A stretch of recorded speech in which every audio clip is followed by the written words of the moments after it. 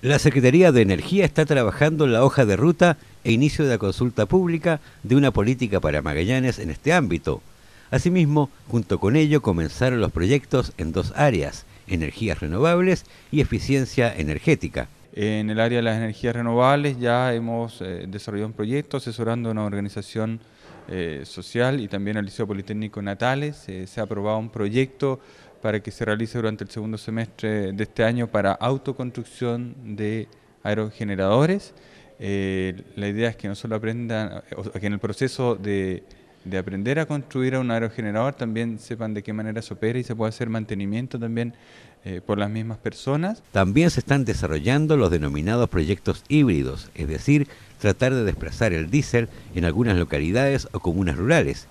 Y este año se espera presentar tres proyectos en sectores aislados de la región, algunos de los cuales no cuentan con 24 horas con electricidad.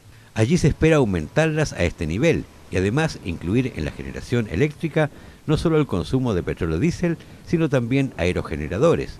Para ello hay un trabajo con las municipalidades.